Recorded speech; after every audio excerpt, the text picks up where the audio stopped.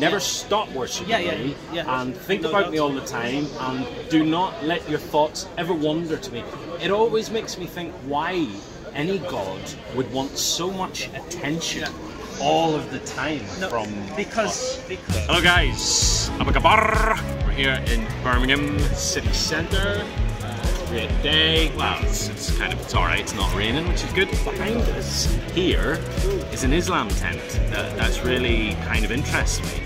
I can see it says Islam against extremism, Islam against racism.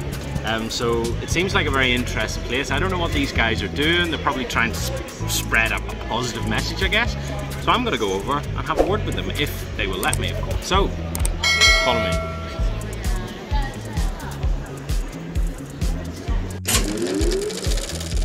It's in the name, really. I act.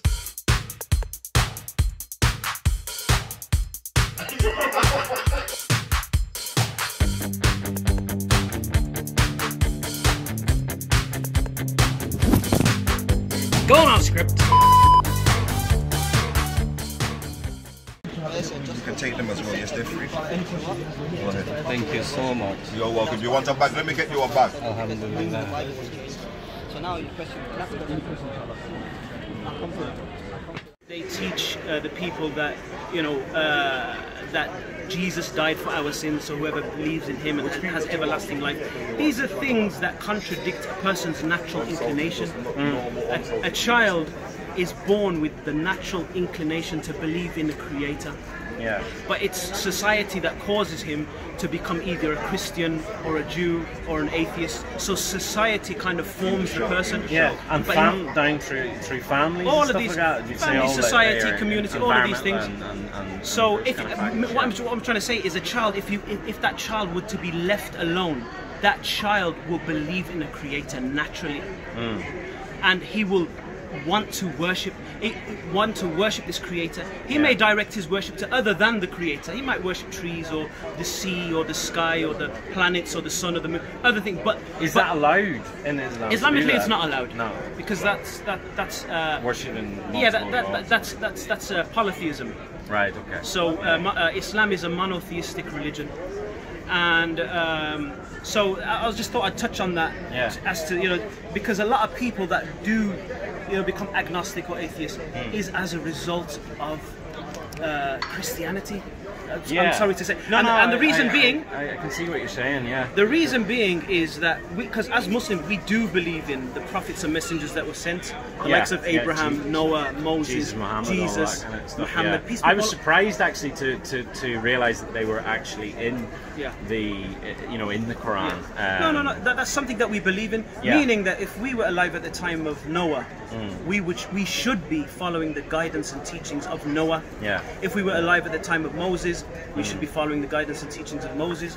If we were alive at the time of Jesus, peace be upon him, we should be following the guidance and teachings of Jesus. Yeah. However, the current Bible that we have today, the New Testament, Old Testament, the King mm. James Version of the Bible, the Revised Standard, we don't now say that that was the scripture that was given to Jesus. We don't say that Yeah. because we know that Jesus had a scripture. Is it the Bible? Mm. It's not the Bible. Bible. The Bible is a collection of writings from people From that we don't different people, that we don't even know. We don't even know whether they Yeah. they were trustworthy people, whether they were reliable or not, whether they even lived at the time of Jesus or not. Yeah. Right? So is it fair to say that the Quran it has taken parts of these different books like the Torah and the Bible and kind of looked at it and went right, okay, sort of tried to clean them up a little bit and No, tried no, to no. find That- that's a- the, that's- the, the core Yeah, kind of. that's a misconception, Okay. and that's a conclusion that many people come to Right. because oh well, uh, the Quran says uh, it speaks about the, uh, the birth of Jesus, so therefore it must have been plagiarized from the Bible. We don't believe that. We Hmm. Believe that these prophets and messengers were receiving revelation from the Creator.